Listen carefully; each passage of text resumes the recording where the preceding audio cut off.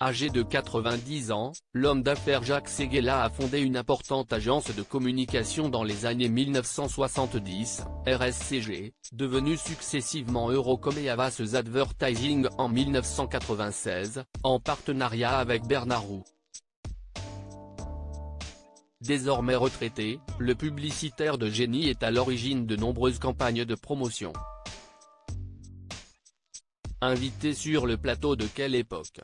France 2, ce 1 er juin, il a évoqué l'histoire d'amour qu'il vit depuis 1977 avec Sophie Vincent, âgée de 65 ans, la femme qu'il a épousée il y a 47 ans.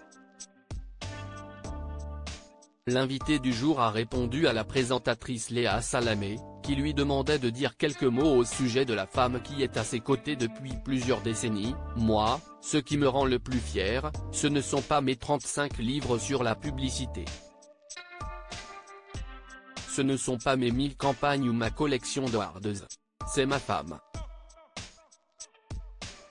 On est mariés depuis 47 ans, on ne s'est jamais disputé.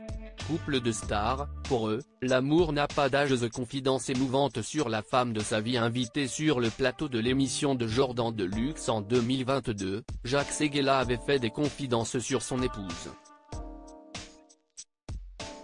Il avait expliqué, Sophie est arrivée dans ma vie. Je l'ai vu traverser. J'avais 42 ans, et j'avais complètement raté ma vie conjugale. J'avais eu un premier mariage, je m'étais marié à l'âge du Christ, et c'était une association.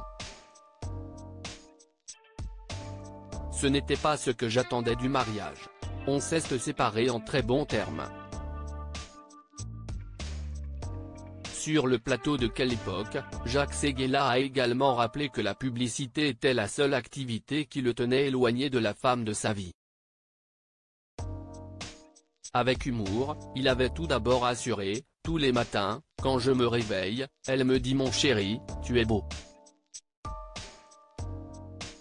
Je t'aime.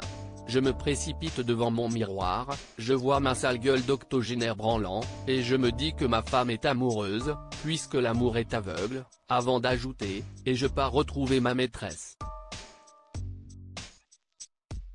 Ma maîtresse, si est-il la pub Article écrit en collaboration avec 6 médias Crédit Photo, capture d'écran France 2.